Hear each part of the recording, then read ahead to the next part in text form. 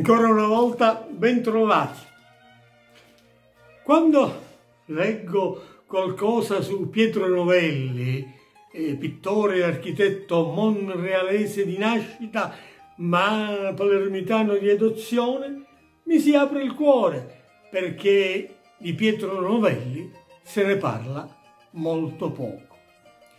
Eppure tante opere di questo pittore, nato appunto a Monreale nel marzo del 1603, sono sparse in numerose chiese siciliane ed esposte nei migliori musei d'Europa, anche a Termini Venese e a Trabia. Ma poi vi dirò.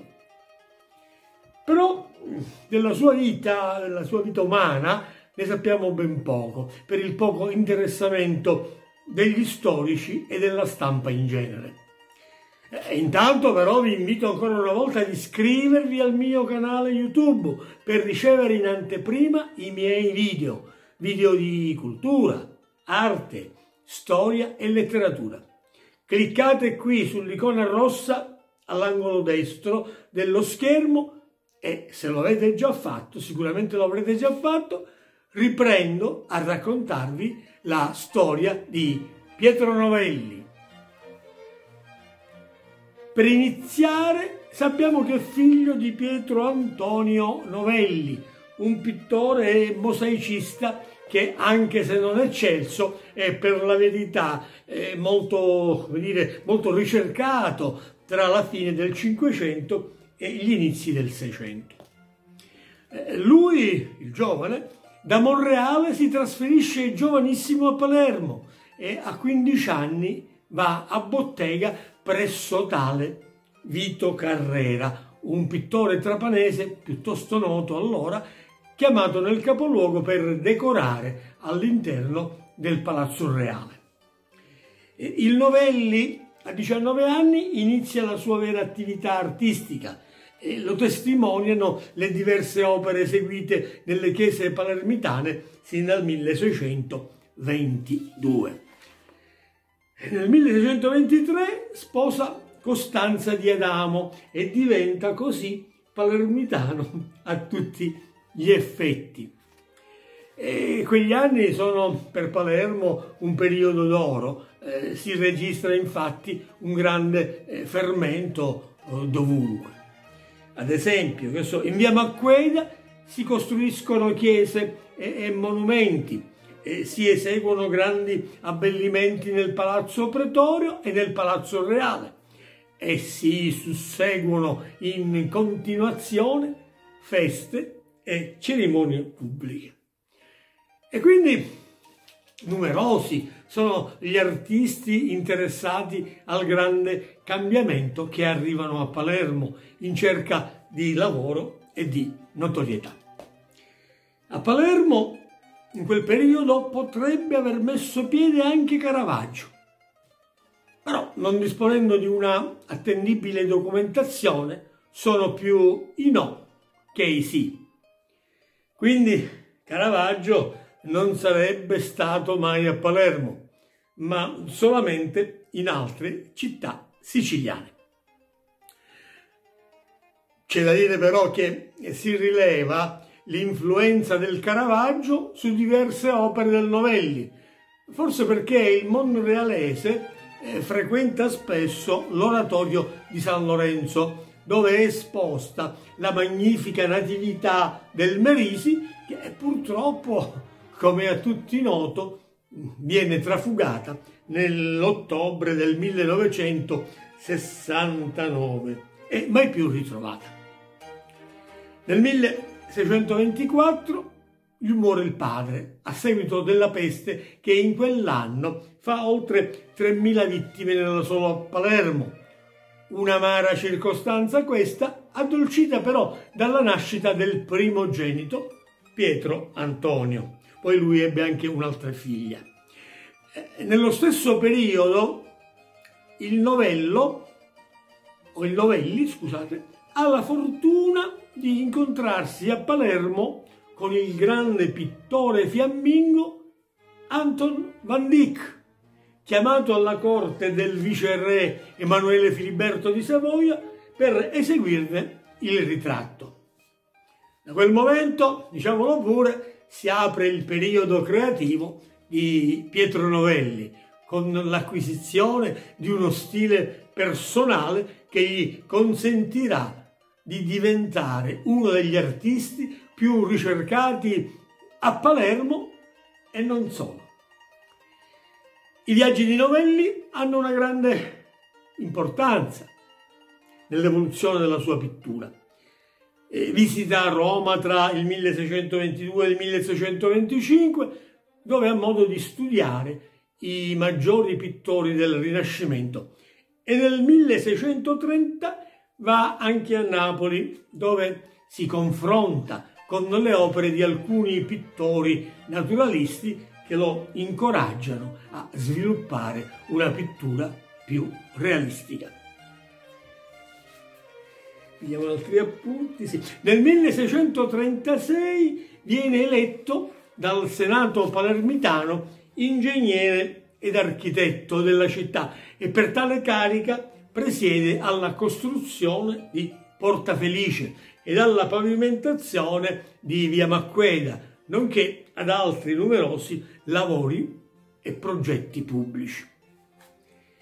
Il 22 agosto del 1647, durante i tumulti capeggiati da tale Giuseppe D'Alesi, un masaniello siciliano di polizia generosa, disordini che si accendono in piazza Vigliena, riceve una ferita d'arma da fuoco che purtroppo gli costa la vita. Pietro Novelli muore infatti cinque giorni dopo, il 27 agosto, a soli 44 anni. E i confratelli della Compagnia del Rosario di San Domenico lo fanno tumulare nel cimitero annesso al convento. Cosa dire? Sono convinto, così come lo sono tanti critici, che se Pietro Novelli eh, fosse vissuto più a lungo sarebbe divenuto il più grande pittore del Seicento italiano. Siciliano lo è già stato. Quali sono le opere più importanti di Pietro Novelli, mi chiederete voi?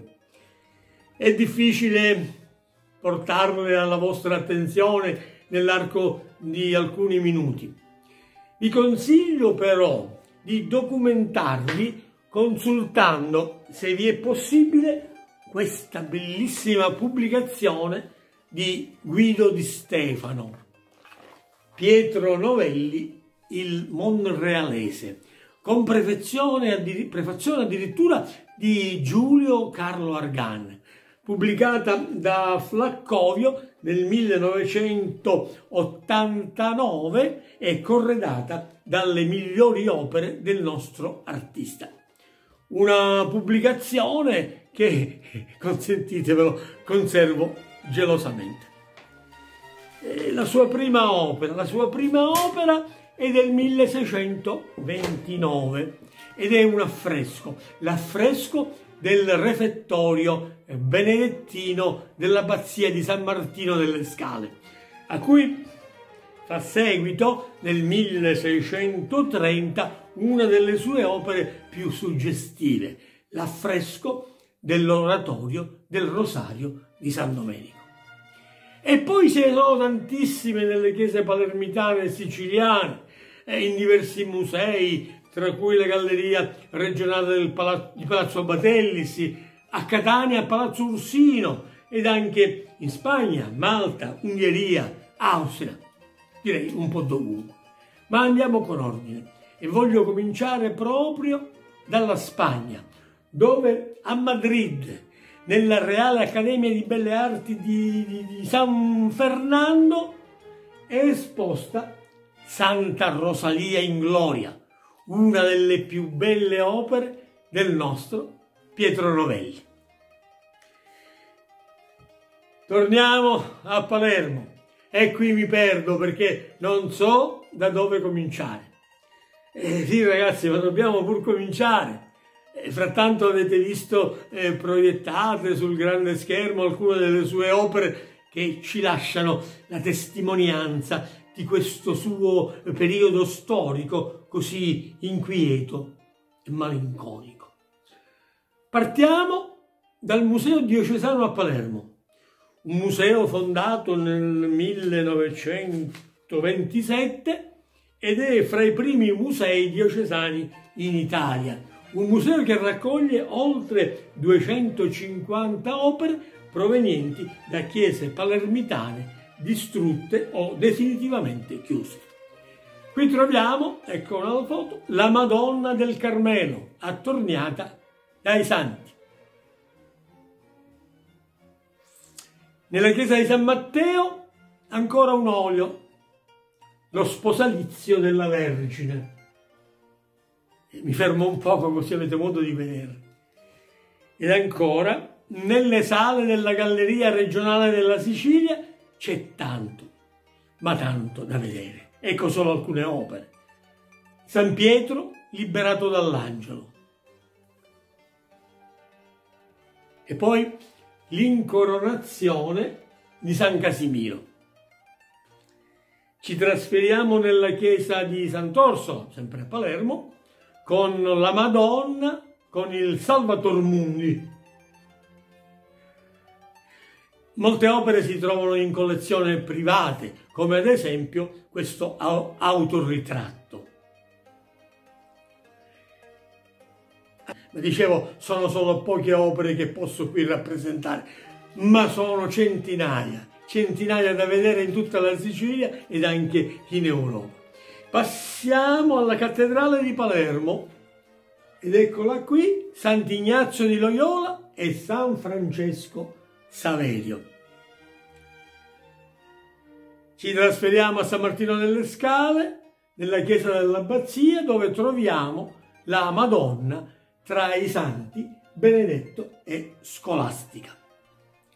Ancora un'altra bella tela nella chiesa di San Nicolò Tolentino.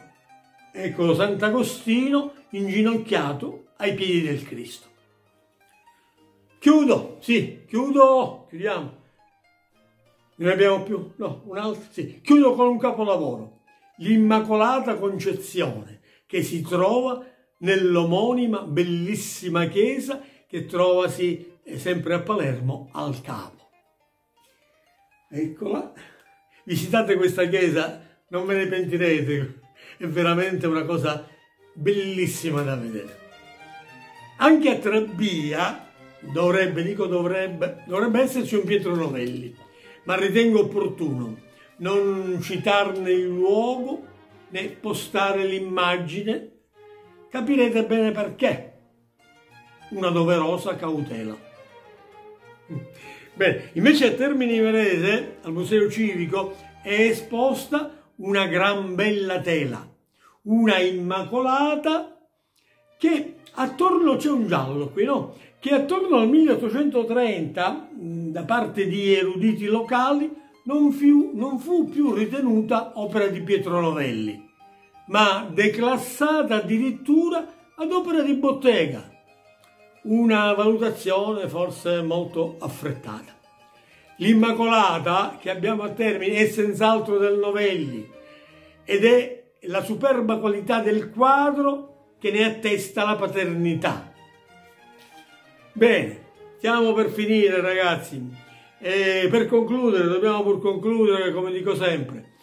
Per concludere, per concludere Pietro Novelli mm, nelle sue opere dimostra di sapere eh, armonizzare la luce creando eh, composizioni ricche di colore e movimento, riuscendo a, mm, dire, a, a catturare espressioni intense che lo rendono maestro nell'arte del ritratto e della pittura storica, soprattutto quella sacra, dove esprime la drammaticità attraverso appunto l'uso del colore e delle forme. Indubbiamente, come dire, Pietro Novelli, con le sue opere in gran parte legate a contesti religiosi, ha arricchito il patrimonio artistico della nostra Sicilia durante il periodo barocco. Un patrimonio che ancora oggi ci ritroviamo, direi integro, e che dimostra l'abilità del monrealese che i musei di tutto il mondo ci invidiano, che dimostra come sapere ornamentare chiese e spazi sacri, cosa che il Novelli ha saputo fare. Un pittore oggi ancora pressoché sconosciuto al grande pubblico, ma voi che mi seguite, da oggi cominciate ad avere cognizione di Pietro Novelli, salvo ovviamente chi ne ha già conoscenza. Alla prossima!